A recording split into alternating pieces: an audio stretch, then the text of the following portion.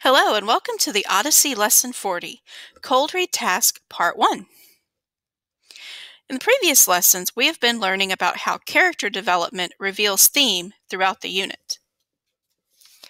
Today we will assess our ability to read, comprehend, and express our understanding of a complex, grade-level text that shares similar themes with the Odyssey. For this lesson, you will need the Book 6 excerpt from Homer's The Iliad, which is found in your cold read task. You will also need the cold read task answer sheet.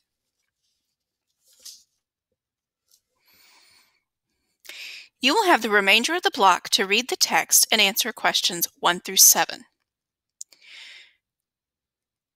Before you begin, I'm going to go ahead and close out this lesson. Congratulations! You have completed Lesson 40 of the Odyssey unit.